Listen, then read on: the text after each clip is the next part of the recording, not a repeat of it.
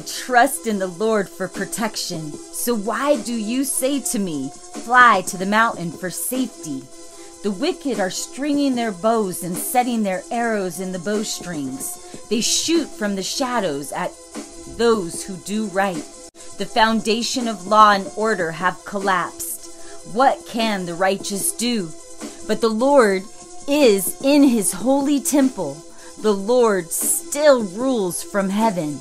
He watches everything closely, examining everyone on earth. The Lord examines both the righteous and the wicked.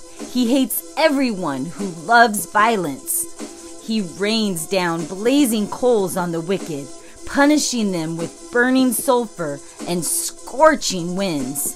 For the Lord is righteous, and he loves justice. Those who do what is right will see his face.